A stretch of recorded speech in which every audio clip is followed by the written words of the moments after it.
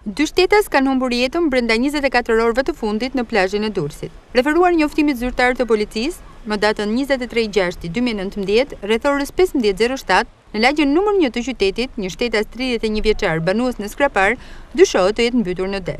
Ndërsa më datën njëzet e katër i gjashti, rreth orës nëntë e tridhjetë në lagjen numër trembëdhjetë në Durrës, një shtetas rreth shtatëdhjetë e pesë vjeç, banues në Tiranë, është futur në det dhe ka gjetur vdekjen. Dyshohet arrest kardiak. Grupi hetimor po punon për zbardhjen e plotë të ngjarjeve.